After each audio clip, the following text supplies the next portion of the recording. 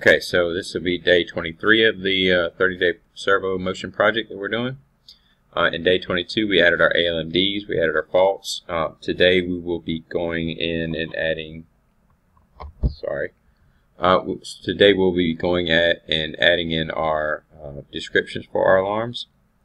So basically, we'll be putting in the descriptions for the e-stop uh, relay, the um, axis 1, axis 2, axis 3, axis 4, into the proper description. So first off, we want to go into the controller tags and then we want to find our descriptions, right? So alarm 1, alarm 2, alarm 3, alarm 4, alarm 5. Okay, so um, what we'll do in this instance is we're going to go ahead and throw in our data so this will be, we know this is going to be the e-stop. We'll call this system e-stop. Sorry about that, I hit the num uh, number lock on accident. Okay, so system e-stop, hit apply, and we'll spread this out a little bit. So the next instance would be axis 1 fault. So axis 1 servo is faulted. And then again, I'm copy paste, right? So I'm going to copy that. Anything that you can make things faster, I strongly believe in doing. So, um, and that goes for that description. This goes for the next description.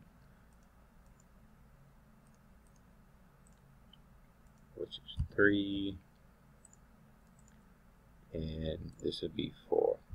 Okay, so we now have our descriptions that will pop up on our alarm banner when we have the system uh, working, right? So if we get an alarm, if we happen to get one of these alarms, then that is what will be just based upon the tag the tag we have in here this is a um, this is a string. You can see the value that will pop up what we just typed in. System e-stop um, number two should be uh, yeah servo uh, axis one servo is faulted okay so what we should do at this point is we should go ahead and start the client. And this is what I, I wanted to show you. So this would be a little little uh, tidbit of information that you will help you out if you have trouble with alarms and events.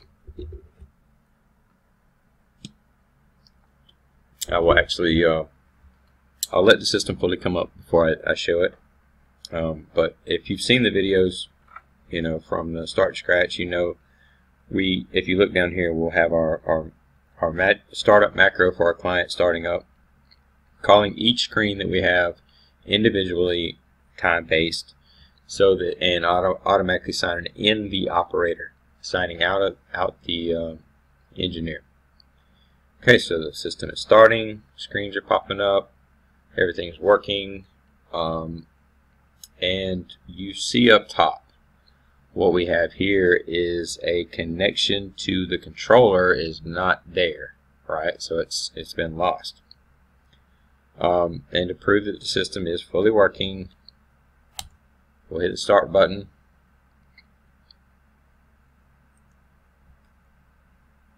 And the system is fully working. So it's requesting to start, everything started running. So the actually we are talking, but the problem is um, we don't have uh, conductivity and, and there's a reason why. So let's go back and I'll show you even if I were to index an e-stop fault right now, and I didn't have to go there to do that, it's not going to pop up here because of the fact that um, we have an RSLinx problem.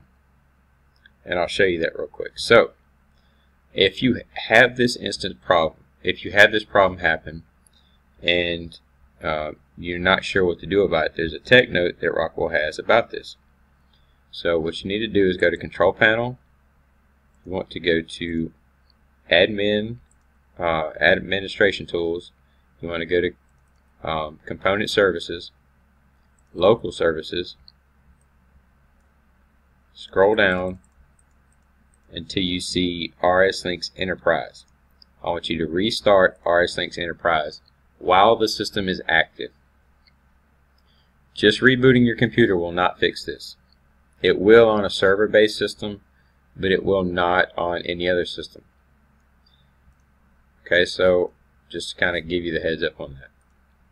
So now that the system is actually reset, and we reset the RSLinx Enterprise, now let's go ahead and press the e-stop.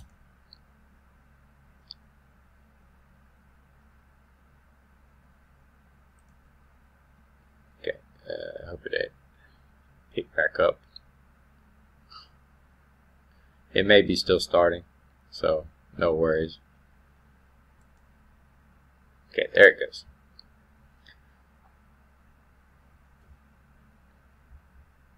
And let's see, we should be getting an alarm.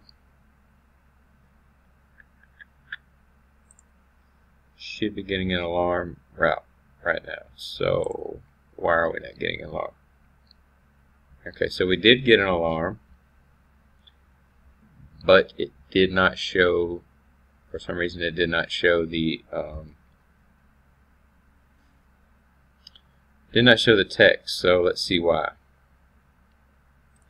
So it's an alarm, and the text is obviously showing.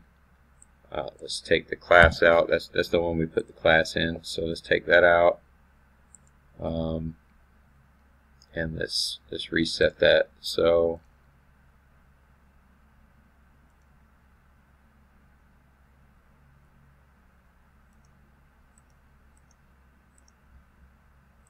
tell you what, what we can do too. Let's do this. Let's we have a fault screen let's go ahead and make the fault screen active. So let's go to fault screen. Um, if you don't know how to do this, let me let me just show you real quick. Okay, so the fault screen is blank right now.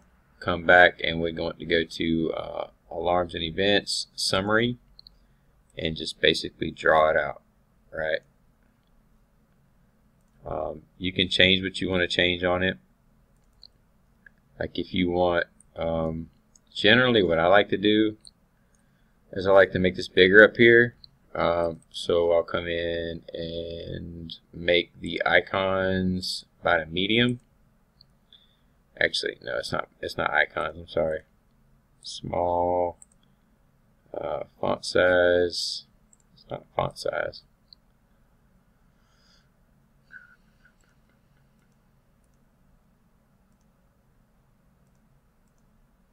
Okay, it should be. I thought it was the header. So, um, yeah, status bar, medium, large, maybe. No. No, I kind of like to have that small. Um,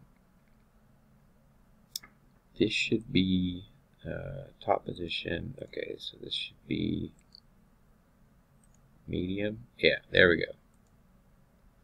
Large.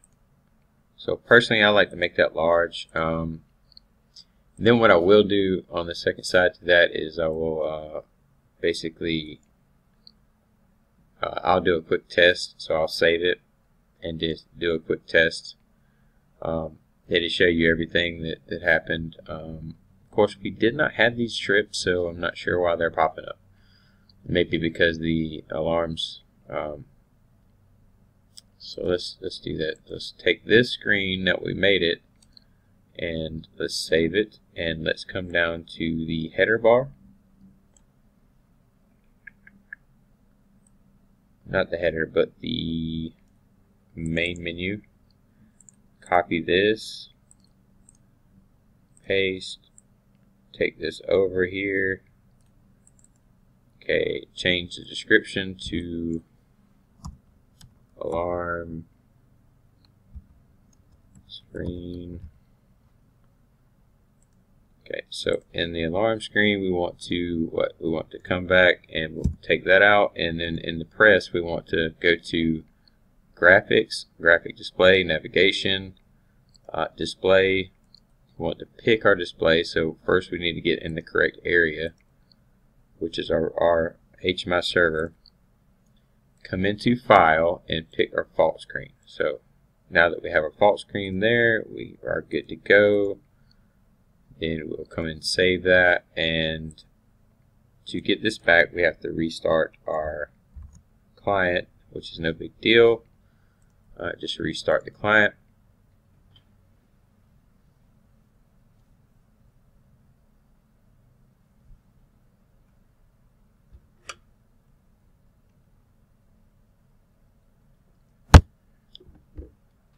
And again, as this stuff starts, and the reason we had to restart it is because the header is a fixed thing that stays on the screen. I mean, you can have a reset if you want to, like a like a refresh at the bottom of the screen or something like a refresh HMI.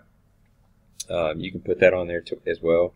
We may show how to do that too, um, but for the most part right now I don't have it. So, so now we have our alarm screen on here and uh, we're good to go. So what we want to do is acknowledge, refresh. Okay, so now that we've refreshed everything, let's go back and let's do an e-stop again. And just like it says, we have the e-stop. And we have, you can spread these out if you want to. Um, so we have exactly what's going on. So I'll tell you what, what we should do, just to test everything, make sure all of our alarms are working right. Come in and index all these alarms. So you see they are working now what's happening here, the reason they're green is because basically um, I'm toggling it and it's immediately coming back true. So it's not like a real fault. Um, but you do see that, that the faults are working. Um, we come in here, uh, we basically uh, acknowledge, refresh. It's only the, now what's left is only the active alarm. If you press the alarm that's active. It tells you what uh, priority it is, what time it came in, what time it's been acknowledged. Uh, it's discrete. Uh, basically, the message that popped up, uh, you know, everything about it will pop up. It tells you the tags value, tag values and all that that stuff. So in that instance, we'll come back and uncheck the alarm. It will go away. Uh, we'll come back everything is good and repeat the process just one more time and this is in the state machine so you cannot start it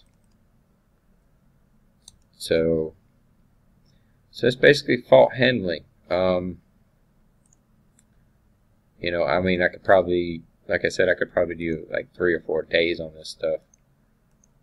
Um, because it, it, you can get really really elaborate on how well you want to do your fault handling. But the little tidbit I wanted to show you too is is um, the fact that if you're you're having trouble seeing your alarms and events, um, the number one thing to do is to go to Control, uh, Admin Tools, Component Services, and again Local Services, and you want to reset or restart you want to restart your uh, HMI or your uh, RSLinx Enterprise. So now I've already done that, so I'm not going to do it again. So, uh, but just to show, you know, the system is still fully functional.